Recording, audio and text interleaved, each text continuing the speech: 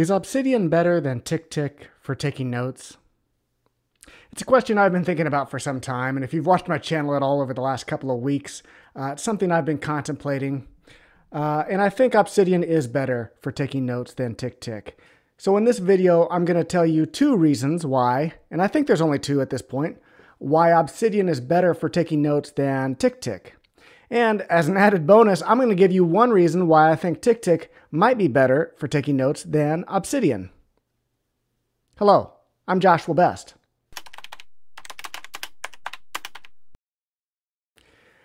All right, so I'm pulling up my screen here, and what you're going to see is kind of a start page of Obsidian, and it's asking us to either create a new vault or open a vault.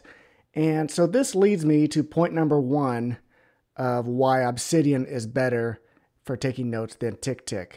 So what is an Obsidian vault? Let's go ahead and create one and, and see what it does. So it says create local vault, give the vault a name. I'm going to call this demo vault. And then we pick a location for the vault. So we're going to browse. And so I'm just going to create a new folder right here in my, uh, in my main user folder. I'm going to call it demo vault. And then I'm going to select this folder. All right, so we've given our vault a name and we've picked a location for it. Now we're going to go ahead and create. And so now we have our new vault on Obsidian. All right, so why is this good? Uh, because we are picking a local folder on our computer. So if you noticed, we created a brand new folder on our computer. There were no files in it when I created it. Uh, but now let me open it back up just with uh, File Explorer on Windows. Here it is, Demo Vault. And one more time. All right, now you see this welcome.md plus another Obsidian folder. So this is actually the file that we're looking at. So all of the files and all of your notes that you create, that you modify, um, everything is stored locally on your computer, on your hard drive. We never once logged into Obsidian and everything is stored locally. So why is that good? Well, it's good for a couple of reasons. One, it's offline, right? You never have to connect to the internet if you don't want to. All your notes are readily available without any internet use. Now, I don't know about you, but my internet provider seems to be having a lot of trouble these days, and I don't know if it's because of the location uh, that I've recently moved to or what the deal is. But having my notes offline is actually um, it's it's very useful but the second thing is it's not stored anywhere, right? It's not stored somewhere on somebody's servers. I know, and I've talked about it in other videos. Um, you know, there are some concerns with TickTick and you know where the servers are located, but you know, I've mentioned before that there's there should be concern with any app that you use. And so by having your files locally, you don't have that concern, right? You don't need to be concerned with where your files are at because you know exactly where they're at. They're right here on your computer. All right, so I'm just going to rearrange these windows a little bit and demonstrate how this works. All right, so I've got my Obsidian window over here to the left side, and I've got my um, File Explorer over here on the right side, and I'm just going to create a new note in Obsidian. So you've already noticed that there's an untitled file that was created, but now I've called this new note, and I'm going to go ahead and hit enter. And now you see that it's renamed new note. So I'm just kind of demonstrating and, and kind of proving my point that these are all stored locally. Uh, let me just go one step further. So just adding some text here. So let's say that I, for whatever reason, don't want to use Obsidian anymore. You know, maybe something comes up where um, the CEO is a bad person. Uh, I know that's happening right now with WordPress. And I, I use WordPress for my personal site, so it, so I'm kind of following that story along. But let's just say, for example, that that happened with Obsidian, and I don't want to use Obsidian anymore. Well, I've closed Obsidian now, and I still have my files on my computer, and I can just as easily open with Notepad. And let me drag this over. So here you see new note and it says this is a new note for YouTube demo purposes. And so it has any text that I have written in my note. And so that's another added benefit of having your file stored locally is that I don't rely on Obsidian. If Obsidian goes away, I still have all of my notes. All right, so how does that compare to TickTick? Well, let me drag TickTick over. Rather than a vault uh, in TickTick, you would probably create a list. So let me create a new list and I'll call it notes list. And since I'm going to use it for notes, I will change the type from task list to notes list. And then I'll go ahead and add. So here is my notes list. It's kind of like my vault. And I can add a note, new note, and I can just as easily write the same sentence I wrote on, in Obsidian. All right, so the same note exists in both TickTick and Obsidian.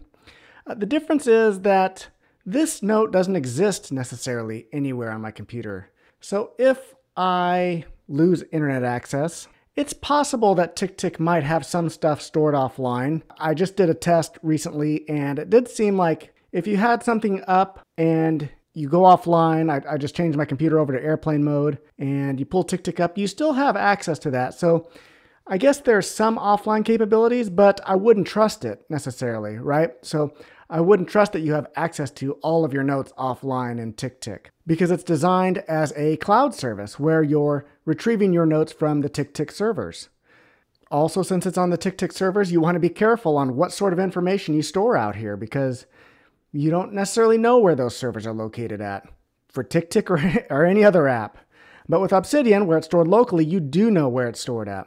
And then kind of the third and final thing regarding this point here is that any images you copy and paste in here to TickTick uh, in your notes or any files that you attach, you won't be able to retrieve even if you do a file, even if you do an export of all of your tasks and notes. And I showed that in a previous video as well. Whereas with Obsidian, you don't even have to do an export. You don't have to request anything. It already exists right on your computer. So it's already yours. You own it. You know exactly where it is. You don't even have to use Obsidian to open it. All right, so that covers point number one on your notes being stored locally. Point number two on why Obsidian is better than TickTick for note taking is note linking. So there is some note linking capabilities within TickTick, and let me just show you real quick on what that is. So I have a new note. I'm going to create a second new note. Let me just call this note lawn maintenance. And let me rename new note. Let me call this one um, household maintenance. All right, so let's say, for example, that I have this household maintenance and I want to kind of link to subcategories or subnotes. So I'm going to have lawn maintenance, I'm going to have maybe springtime maintenance, fall maintenance, something like that. So let me come in here, I'm going to delete this and I'm going to create a bullet point. And let's say I want to now link to lawn maintenance. Well, there's no way that I can easily, just from my keyboard or from this note, link to lawn maintenance. There's no option to pull up your existing notes and say, I want to link to this note. Now, in this case, it's fairly easy because I've only got two notes in here and it's, it's a pretty empty system. Uh, and I can just as easily come over here and right click on this and say copy link. And that copies the link to lawn maintenance. And I can paste it in here. And now I have the link to lawn maintenance. And let's say I want to come down here and go to spring maintenance. I can't generate a note from this note, for example. I can't, you know, link to spring maintenance yet because spring maintenance doesn't exist. And you'll see once I switch over to Obsidian that it makes it a lot easier in this sort of thing. So in TickTick, I'd have to go create spring maintenance, I'd have to go create fall maintenance, and then I'd have to right click on each of them and copy the link and then paste it over here. It's all doable, uh, but it's a pain. Beyond that, if I go over and click on lawn maintenance, I don't have any idea that this is linked from household maintenance, right? So if I'm reading through my lawn maintenance note, there's nothing that indicates to me that there's another note that links to this note. I don't know if that's important or not, but it seems like it might be. So let's go over to Obsidian and see how it's handled there. All right, so I've got my new note pulled up. I'm going to rename this household maintenance. And I'm going to delete this and create a bullet point. Now from here, you can see I don't even have my lawn maintenance note created yet. But if I just hit a double bracket, this allows me to create a link, which I can then create a note from that link. So let me just show you. I'm going to type in lawn maintenance and hit enter. All right, now you see that this is a hyperlink sort of thing. And if I click on this, watch on the left side over here in this notes list.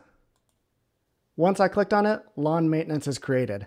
And I can go ahead and, you know, write whatever lawn maintenance I have. And kind of going back to the other thing that we talked about, how can I see if there's any notes that link to this note?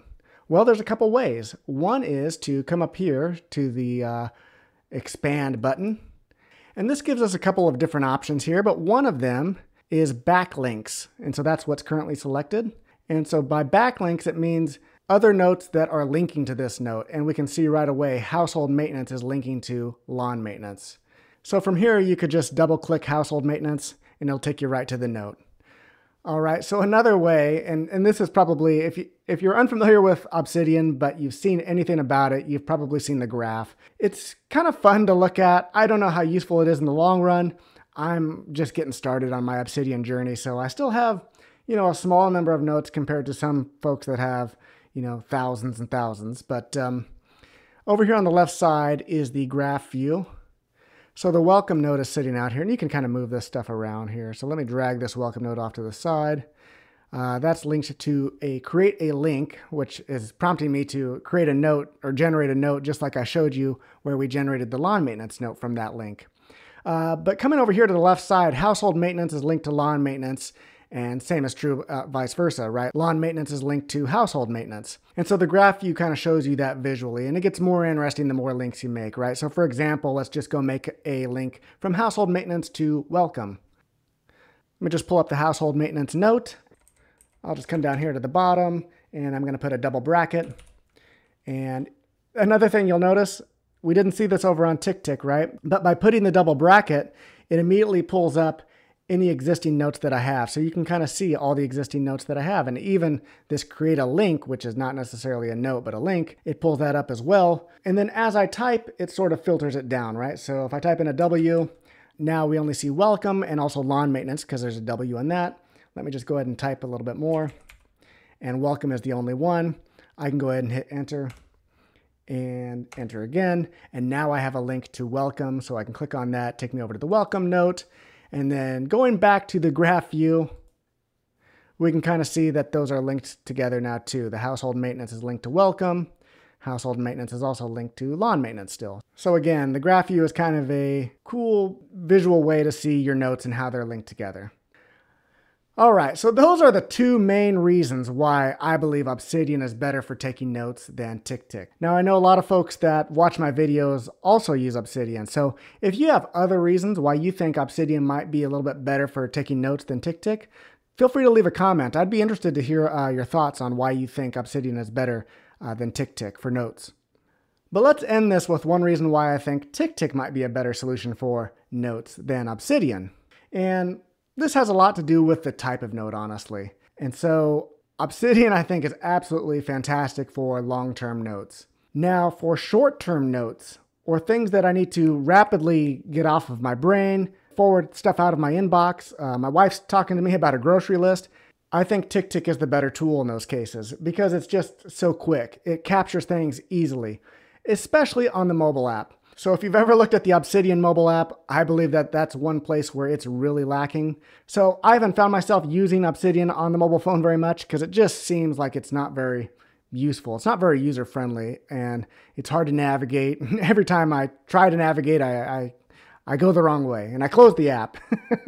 so anyways, especially mobile, especially for what some people refer to as fleeting notes, you know, things that may not last forever. Maybe you don't want to keep them in your personal archive forever. You just want to jot things down, you know, like a sticky note, like uh, something comes up and you need to, to write it down quickly. TickTick is the, is the way. And there's so many different ways to capture notes within TickTick. So not only is the mobile app quicker and easier, uh, but there's also things like the global keyboard shortcuts where you can just hit a keyboard shortcut from anywhere on your computer and it brings up a new task or a new note forwarding emails in from any email address into TickTick. All those things make TickTick a better capture tool for quick notes. Well, that's all for this video. Let me know your thoughts in the comments. Thanks for watching. Have a good one.